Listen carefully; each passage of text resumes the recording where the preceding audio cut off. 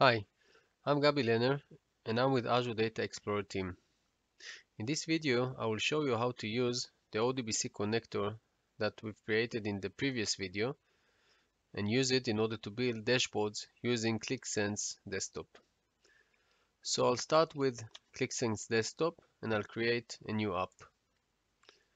I'll provide it a name and since the data I've used there is storm data, I'll keep the same name and I'll create a new app.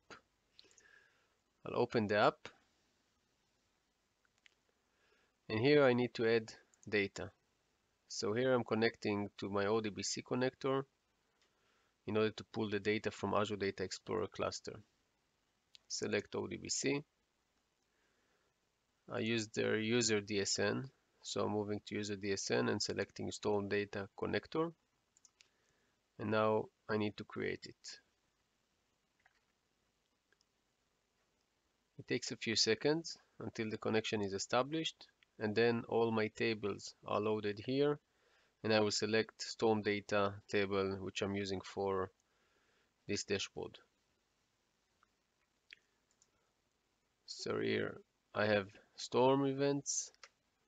The table is loaded here and now I can create my dashboard.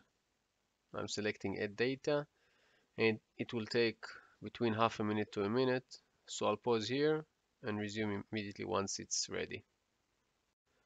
Okay, so data compilation completed after about 40 seconds.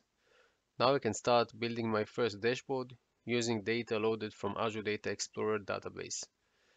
Qlik has a very useful feature to generate insights. This immediately goes over the data and proposes a few charts. So I can use these charts and pin them to my dashboard and extend the dashboard with additional charts that I will be creating. Thank you.